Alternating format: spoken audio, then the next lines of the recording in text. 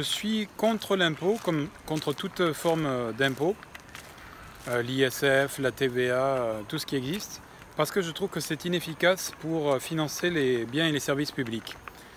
on le voit en temps de crise, il n'y a plus assez d'argent, c'est toujours le, discours qu'on nous rebâche, on ne peut plus rien faire parce qu'il n'y a plus d'argent dans les caisses.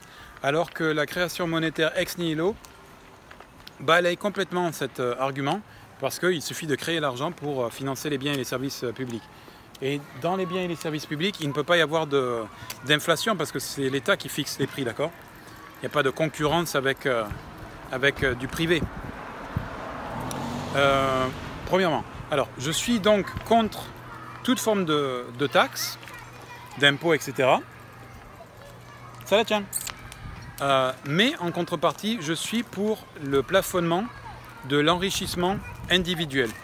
Alors comme je suis un gagne petit, si on me demande à moi quel est le plafond euh, à avoir, ben, je vais donner une somme certainement trop basse. Mais ça c'est quelque chose qui doit se discuter euh, euh, en commun pour ne pas que le plafond soit trop, trop bas, mais qu'il soit raisonnablement haut. voilà. Ce qui m'interroge, c'est pour quelle raison Certains voudraient que le plafond soit, évidemment qu'il n'y ait pas de plafond, ou alors, euh, si vraiment il fallait le réguler, qu'il soit euh, très très haut, euh, plus d'un milliard. Un milliard, ça me paraît déjà astronomique, mais bon, ou 500 millions, je ne sais pas. Mais moi, la question, c'est pourquoi est-ce que certains trouveraient encore qu'un milliard ou je sais quoi, ça serait, ça serait trop bas? Est, le, quelle est la motivation derrière? Est-ce que c'est une motivation de compétition entre les individus et notamment avec euh, l'étranger pour dire eh ben, nous aussi on a des milliardaires, euh, Lagardère qui se tire la bourre avec euh, Bezos parce que c'est une question d'ego, montrer que ah, je serai plus riche que lui, etc. Si c'est ça, c'est de la connerie, non, plafonnement, voilà.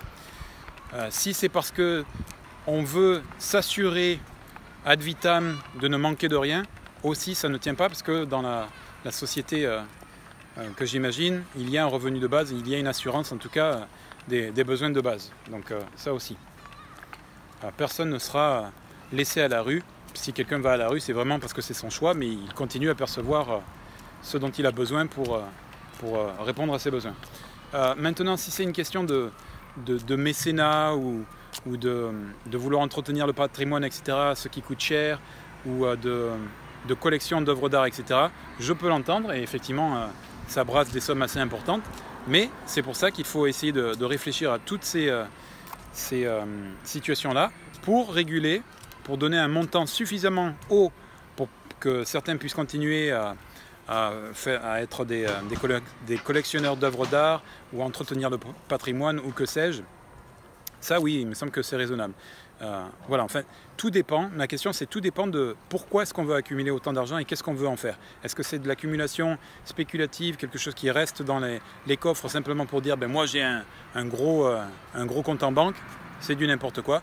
Si c'est pour une utilisation concrète euh, et non néfaste, là par contre, je, peux, je peux l'entendre et il faut que nous l'entendions tous. Voilà ce que je voulais dire rapidement. Contre l'impôt, parce que c'est pas efficace pour financer les services et euh, les, biens et les services publics. La création monétaire est beaucoup plus efficace. Par contre, pour le plafonnement des richesses, parce que euh, ça ne veut rien dire d'être multimilliardaire ou je ne sais quoi, ça, ne sert absolument à rien, à rien pardon, et au contraire, ça, crée des déséquilibres dans la société, me semble-t-il.